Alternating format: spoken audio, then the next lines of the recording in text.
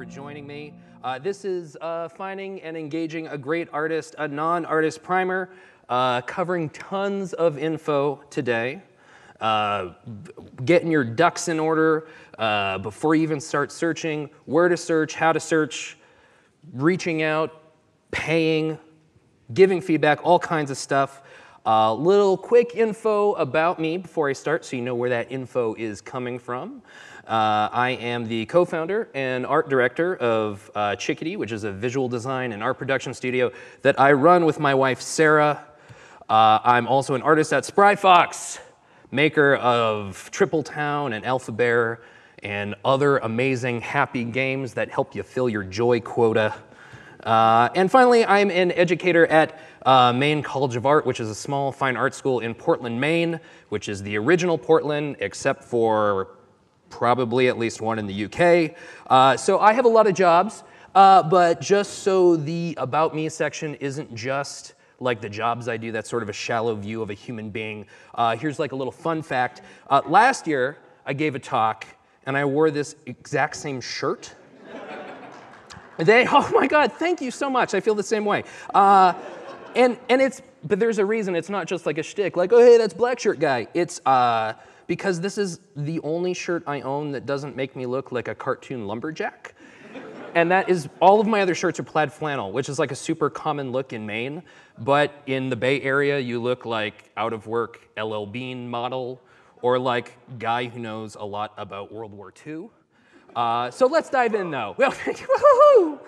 uh, okay, what you need to do before you start searching.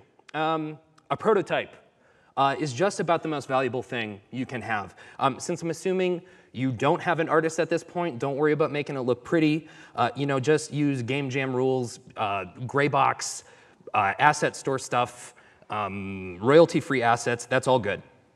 Um, you'll also need an idea about the work you want done because that's going to dictate the type of artist you need to look for. Uh, you know, a concept artist to help shape the vision, or um, you know, a modeler to model characters and props, or a painter, or an animator, art director, etc. Now, this maybe seems like a you know, yeah, no shit kind of point, uh, but it's uh, it's actually a, a, pretty fine point. Um, when Chickadee started working with Spry Fox, it was because we answered um, a help wanted ad that said, hey, we need a modeler for our next project and bonus points if you can animate. Um, but what they actually needed uh, was someone comfortable moving through the visual development process, uh, someone who could um, do concept art, who could plan pipelines, who could do VFX, who could do a whole bunch of stuff. It was their uh, first 3D project, and they sort of yet didn't know what they didn't know. Um, and so if you're, if you're thinking like, oh, I thought I knew what I wanted, but maybe I don't now, um, try searching for a generalist or uh, just a game artist. That's going to be someone who's comfortable wearing a lot of hats. Uh, reference of other work is also good to have. Reference that hits like close to uh, the emotional mark or, or, kind of like the vibe you're going for. It's useful to have uh, something to show uh, like to get uh, a potential artist in the same headspace as you. Uh, so go ahead and like make a Pinterest board, just fill it up with stuff that like, even if it's like, oh, this isn't the style of character we actually want, this, it feels right, right? Uh, it's, it's okay to get emotional on that. Um, other media, this kind of related to the last point, other media like music is sometimes really useful too, uh, because uh, it's useful to kind of sometimes make a, like a playlist and say, hey, this sounds the way the art should look, right? Get them in the uh, same headspace as you. If you have obviously soundtrack samples or something, uh, be ready to send, send, those along. That's all good stuff. Uh, a list of verbs or adjectives is also good to have. Uh, stuff that describe what the player should be, you know, feeling when they're playing the game or stuff uh, or, or, or uh, what they should be thinking when they look at a screenshot. You know, I think verbs and adjectives, that's sort of like a common um, game design uh, thing, but it's also really good for visual design. Uh, you know, and finally, you're going to need a sense of your budget, and that is a big topic. So let's dive down into compensation. Cha-ching! Come on, that was better. Give a little more. Okay, fine. I'll move on. Thank you, thank you, thank you. Uh, okay, so the uh, easiest right? The most straightforward way is like, uh, to pay an artist is just to have an art budget, which is maybe not fair in an IGS talk. Uh, but right, like, hey, I need art, and here is the money, and then now I thank you for the art. Uh, but again, IGS talk, let's talk about other stuff. Royalties, profit sharing, uh, that kind of stuff, that's also an option. Obviously, that takes away you know, the upfront burden of payment, or at least eases it. Um, but something to consider, uh, if you're offering royalties without having proof that you've successfully shipped a game, that's sort of going to make that an unappealing payment scheme um, because there's, it, it, uh, there's risk that that payment never comes, right? Um, so there's a few points in this whole talk uh, where you know your work history or your reputation um, in the community, it's going to add a lot of weight. This is one of those points. Uh, if people have good things to say about you or they have a positive impression of the past games you've made, um, that's going to take some of that risk out of the prospect of royalties. You know, and and you shouldn't be afraid of of using that. That's a tool in your toolkit. Um, again, though, if you're just maybe starting out, you don't have that reputation yet. You're still building up. Still, there's other options. Um, you know, if you don't mind going with someone who has maybe less experience uh, than you'd like, depending on the laws in your area, you might be able to get an intern for free so long as they're doing it through their university, they're getting credit. Um, you know, they get experience, you get art. It probably will need to be touched up because again, they're just starting out, but um, you know, it gets the ball rolling. You have some art. Uh, beyond that though, this is such an important point. Offering credit or experience or exposure is like flagrantly shitty. Just, just don't do it. Uh, don't be afraid to get creative with payment. Um, one option is working for trade. Now, the obvious thing is like, oh, hey, maybe you both have side projects and like you trade code for art or something like that. Um, but I think you can get more creative than that. I one time did, this is true, I one time did um, not a ton of work, but a good amount of work uh, for uh, a bunch of super delicious homebrewed beer. And uh, I personally think I got the better deal because I got drunk for like many days and they just got some assets. Uh, but we were both happy. The point is, is that we were both happy with the arrangement, right? That's creative. We felt good, especially me. Uh, so another option is to allow um, the artist to retain rights to the work they make. When I was starting out, uh, I did a bunch of work for different studios um, with me retaining the rights to the assets I produced. And then after the game shipped or after the contract was over, um, I you know, would package up some of that art and I would sell it in asset stores. And they got a lower cost or a lower price because of that, because I was able to like make up the difference, you, you know, selling to in, in you know, uh, third-party markets, right? Um, so let's talk briefly about experience as it relates to budget. Uh, an experienced artist, someone with you know a bunch of ship titles, uh, they're gonna have um, a higher rate than someone who's more junior, I think obviously. But their experience can ultimately save you money because uh, they're not gonna be um, hitting, they'll be jumping over hurdles that uh, someone more junior might hit. Um, and in that regard, they're sort of getting more done in less time. Uh, but you know, going with someone more junior, it actually might be the start of a really long and fruitful relationship.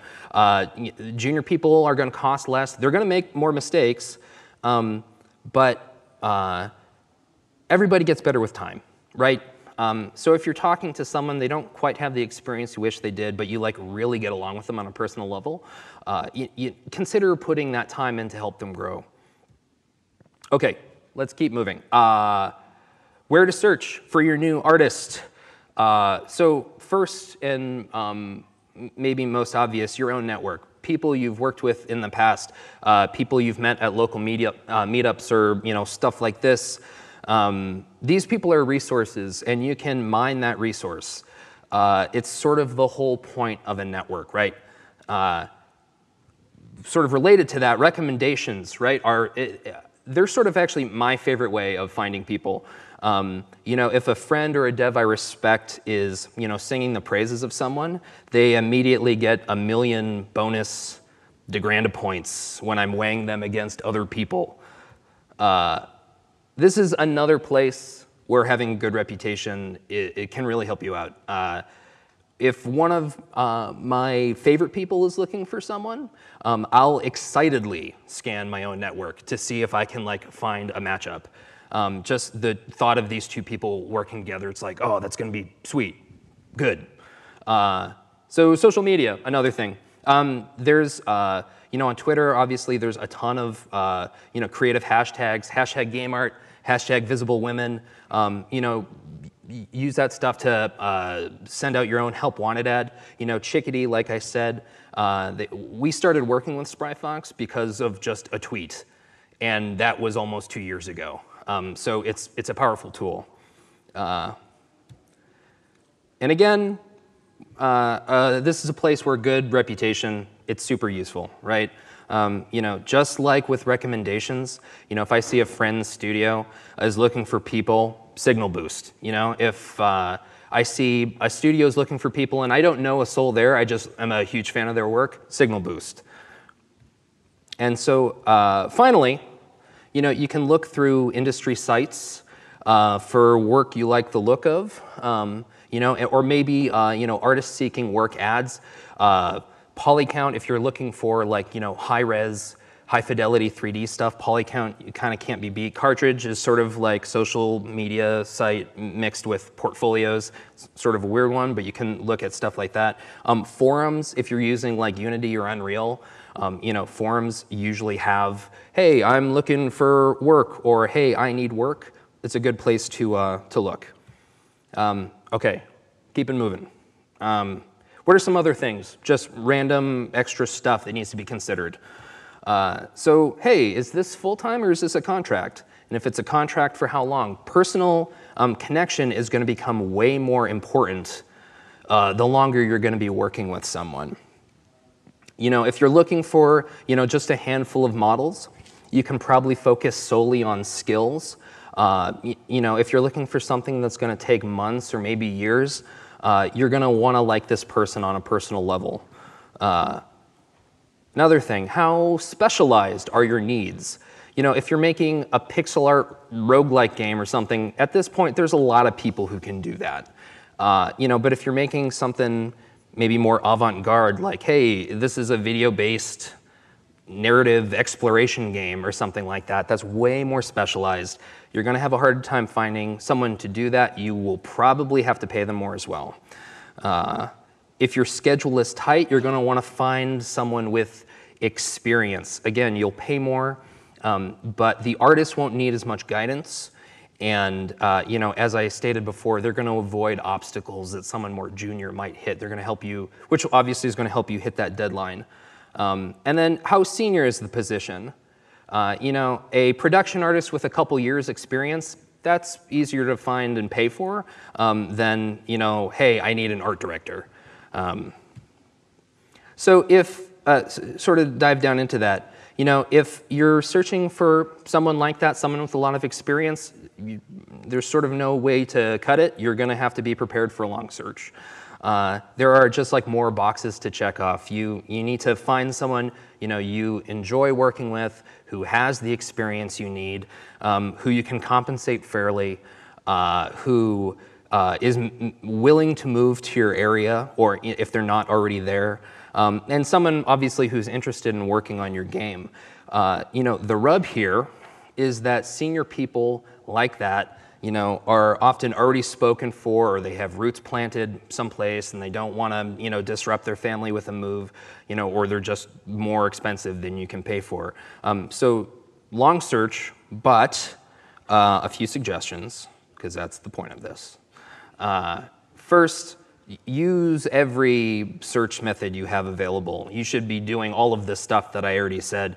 Uh, you know, search your network and recommendations and put up ads everywhere, you know, social media, et cetera, et cetera. Um, again, probably obvious. Um, but another thing to consider, and you know, I think uh, this bears repeating, I, I alluded to this before. You know, if there's a person that you really um, like working with, but they're more junior than you'd like, you know, really consider giving them a chance to prove themselves. Um, progress on your game will be slower, at least at the start, but you know, everybody gets better. Uh, one important note on that though, um, if you go this route, be sure they have a firm grasp of uh, visual design topics like color theory or composition or wrestling with visual hierarchies. These are all like fundamental art um, issues. Uh, and I would say maybe additionally make sure they have a knack for problem solving and lateral thinking and stuff like that. Um, and so I, I, I, sort of just alluded to this. I, I personally think uh, really good art directors for games are basically um, really good traditional artists that have an understanding of technology. Um, and while interactivity is uh, pretty unique to games, there are other mediums that um, you know, have that mix of uh, traditional art and technology. You know, graphic design, animation, two examples. Those fields uh, require you to understand visual design. You know, they're multi-step processes that often involve, you know, various teams of specialists. They require you to get X done in uh, Y time for Z budget, right? That stuff is all very similar to games. Uh, so besides asking, you know, your dev peers for recommendations. You know, consider asking friends from other related industries, if you have them, um, for recommendations. There might be like a graphic designer out there that, you know, when paired with um, you know, a lower experienced generalist or tech artist or something to help explain what can and can't be done in the realm of games, you know, that might be a really, really great combination for you. Um, so last point in this section, um, and this is sort of like the most important, uh, whichever route you go, whoever you go with, you generally, I think you want to shoot for rapport.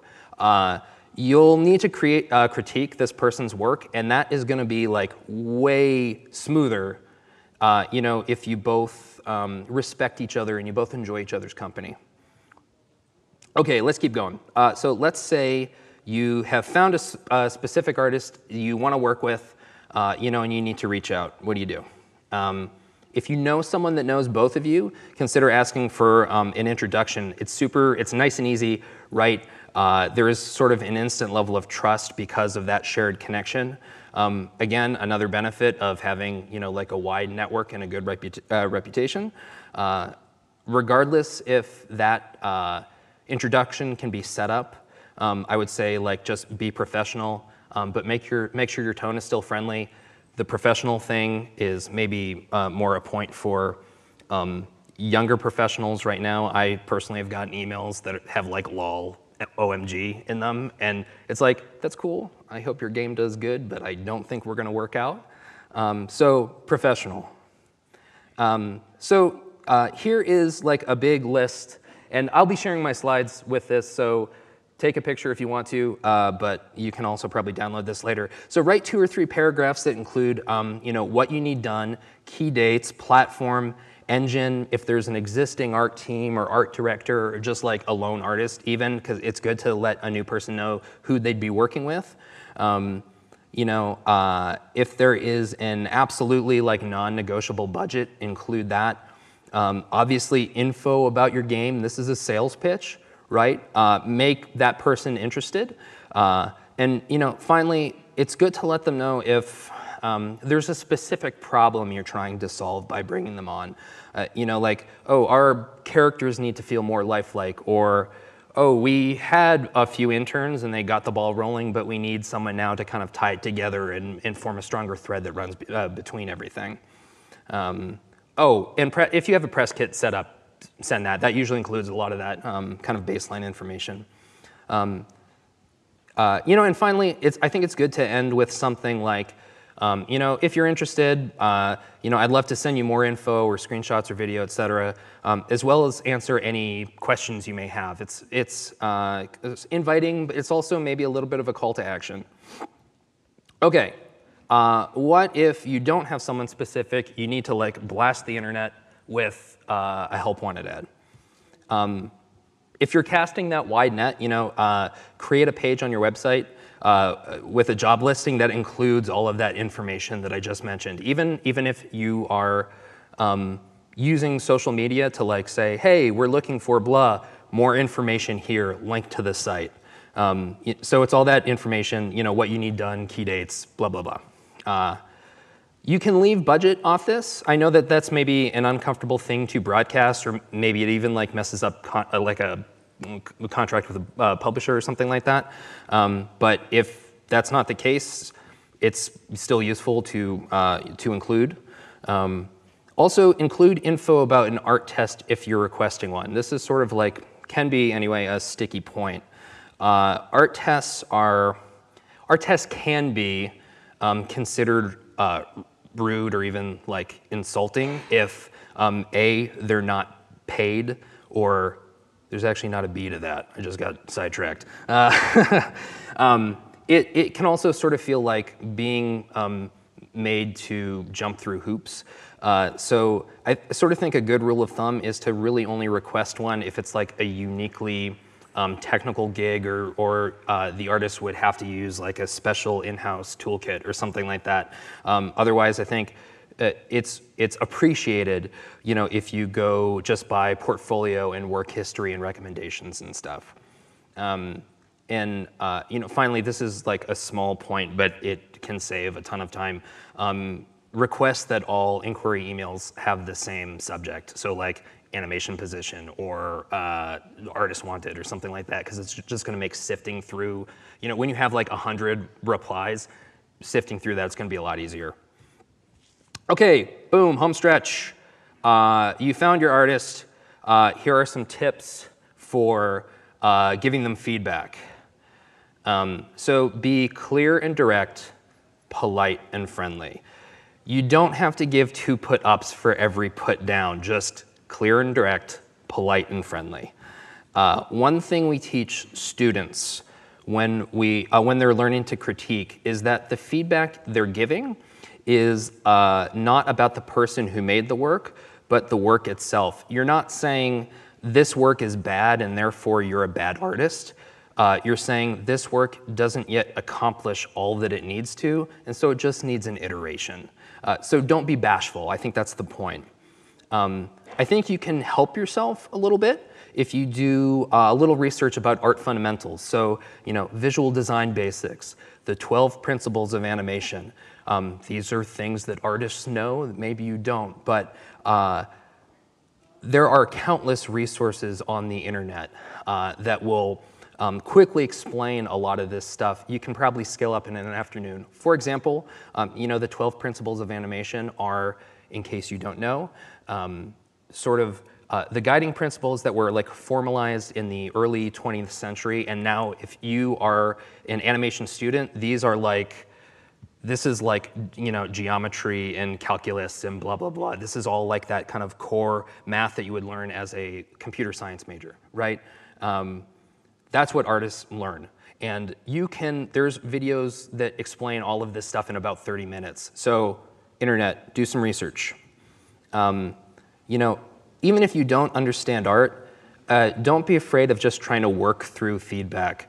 Don't worry about looking stupid or sounding stupid. Um, just sort of stumble through it because an artist is not really going to expect that you understand all that formal stuff. You go to college to learn that. Um, very early in my career, I got a piece of feedback um, that uh, a power up I made didn't feel pointy enough. And I remember it made me so effing angry because what does that mean? Uh, after I was, I was an asshole when I started my career. So after I calmed down, uh, I started a dialogue with this particular programmer, and um, we sort of figured out that what he was trying to say was it didn't feel fast. It was a speed power up and didn't feel pointy enough was I don't get a sense of speed from that. Um, so again, just stumble through it. Uh, this shape or color or whatever reminds me of Doritos, and it's not good that that's the first thing I think of when I look at this, right? Um, or, uh, stumble through it. But I, I would say um, a really important point is try to avoid subjective language. This isn't cool or this isn't edgy enough is not as informative or helpful as this doesn't feel imposing, right? Um, something to consider, and this is um, perhaps a little subjective, but I feel the high level purpose of all art in games is to act as visual communication about uh, the design and goals and rewards and threats and, and, setting and all that kind of stuff. So um, if art looks bad, it's often that it's not saying the right thing. Uh, this art says X to me when really it should say why. This shape looks slow but it, should, uh, it needs to look fast. This posture looks threatening, but it needs to uh, be more passive. Uh, these colors remind me of the fall, which makes me feel cozy, but we want the player to feel stressed here. So it's worth asking yourself what the art in front of you is saying, and then compare that to what the game's design requires it to say. Uh, and then finally, uh, if you find an artist that you really enjoy working with, you know, let them know. M mention them in your weekly blog or Twitch stream or whatever. Give them a shout out on Twitter because it's, it's always nice to know that uh, their work is hitting the mark. And that's it. Thank you so much. Questions?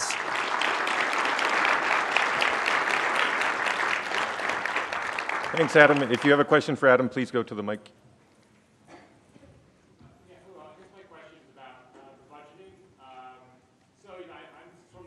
Background, so I know approximately how much artists work salary-wise, but mm-hmm. how do you turn that into a budget for a contract? That is an excellent question. So, um, uh, what's the difference basically between an artist's salary and, hey, I'm contracting someone, how much is all this stuff gonna cost? Um, I that's an excellent question, and it's actually very big, uh, with a potentially big answer. Um, what I there, there are a few different ways to do it. So um, what I often do um, when I'm, uh, I get an inquiry is um, we try to build sort of, uh, first try and find out um, what exactly this client is looking for, the, the total scope, uh, and then um, sort of see uh, how far along in their, their pro uh, the project already is. You know, is this, do they already have like an art style defined and like, oh, I'm just doing an environment set or something like that? Or is this like a total package? If it is um, just assets, um, I usually try and find a, uh, like a flat rate that is based on an hourly rate, but like, hey, you know, for this Snowy Mountain art set, it's gonna cost blah. And, and this happens like in a dialogue between me and a client, right? Um, if it's visual design across a whole project, um, I try to uh, figure out, um, uh, get a rough sense of like schedule and stuff like that. But in that regard, it, it's really, there's a lot more just like back and forth, and it's just a discussion, I think, at that point. And if it's something really, really big, um, I, I personally, that's, that's when like rev share royalties, I think, really start to play in because otherwise, um, it's not sustainable. Um, I know that there are artists out there that uh, try to extract as much money as possible right up front, but I would prefer not to do that because I want the game to ship as much as anybody. Um, so it's really, I just try and work with, with a client to you know, figure out something that's fair and sustainable. One, one last question. Okay. So I had a rela related question, but it, and it's in a sense unfair.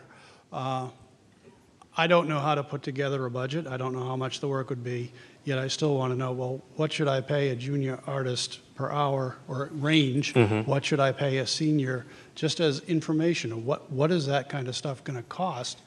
As I try to put together the budget for the whole thing. I've never shipped a game. I'm just starting. Okay. Um, you know, I, I I don't know what I've been in indie games my whole career, which I think is a little, you know, salaries and stuff are a little different um, in um, that space versus AAA. Um, I feel like last time I saw uh, uh, the like um, game developer, you know, like, hey, here's the salary range of all these various um, disciplines. Uh, uh, in entry level artists was maybe 40 or 50,000. Um, but again, that's like salary at like an established um, studio, and it goes up from there. Adam, we have stuff on the Polycount Wiki. If you look on for the Polycount Wiki and search for the freelance page, there's a whole listing of, of hourly rates. So just to do that into the, thank you so much. Just to do that in um, the microphone, if you go to the Polycount Wiki, there is uh, all of that information there. Um, I'm now forgetting, just broken, to, fr- uh, free, freelance, freelance amounts. So um, again, that's another resource, yeah. Is that our time? Thank you so much, everybody.